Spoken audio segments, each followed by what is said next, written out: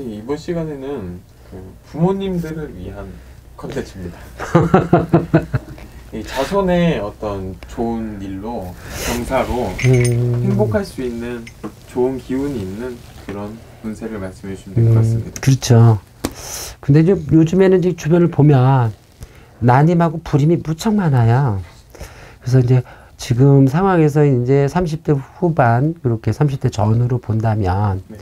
우리 이제 아기를 가지셔서 좀 자손을 출산하실 수 있는 분들이 양띠, 말띠, 뱀띠, 용띠예요. 그래서 이분들은 올해 아마 난임이시고 불임이셨던 분들이 어떠한 계기를 통해서 아마 엄마 아빠를 엄마의 뱃속에다 예쁜 아가를 잉태해 주셔서 아주 한박꽃같이 예쁜 아마 웃음을 선사해 줄 수 있다라고 저는 느껴집니다. 그래서 이분들이 이제 불임 난임들이 많으신 분들이 이렇게 하시는 거니까 좀 건강한 아이들을 출산하셔서 행복한 가정 생활을 영위하셨으면 좋을 것 같아요. 그리고 보편적으로 이제 거기서 이제 불임 난임이고 이제 한다 하지만은 또 여기서 또 이제 서른 살, 서른한 살도 결혼 안 하신 분도 많을 것이고, 그 다음에 서른다섯 살도 결혼 안 하신 분들이 무척 많아요. 올해 이분들이 좋은 인연 배필을 만나서 또 결혼은 또 보여요. 그래서 부모님들이 좀 즐거우시라 생각이 됩니다. 그 다음에 이제 신미생, 경호생, 기사생 이분들은 올해 어, 취업운이 활짝 열려 있어가지고 취업을 하시면 또 부모님들이 무척 기뻐하실 수 있는 그런 연세, 저, 기뻐하실 수 있는 부분들이 보입니다. 그래서 지금 보면 그렇고요. 또 여기 또 노총각 노처녀들이 또 많은 띠들이 많아요. 여기 신유생, 경신생. 이분들이 장가 안 가고 시집 안 간 분들이 엄청 많아요. 참 희한해요. 이렇게 보편적으로 보면. 근데 올해 신유생, 경신생, 신유생, 경신생 장가 갈 운이 없어 또.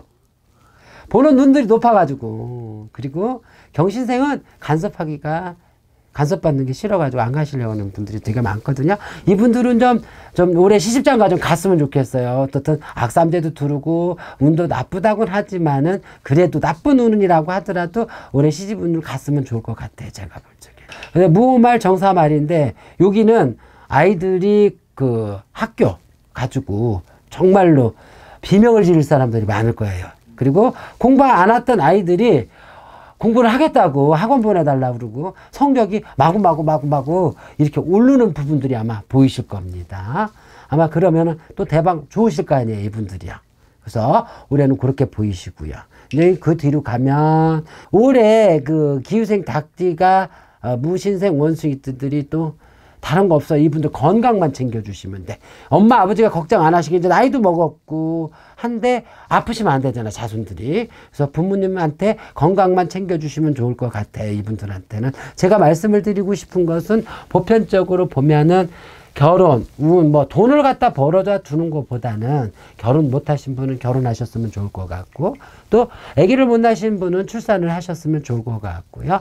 또 공부를 안 하는 아이들이 공부를 하면 그보다 더 행복하지 않을까라는 생각이 좀 많이 들어요. 그래서 아까 말씀드렸던 보편적인 띠들을 보면 올 해운년에 이렇게 좋은 일들이 벌어지지 않을까라고 생각이 듭니다.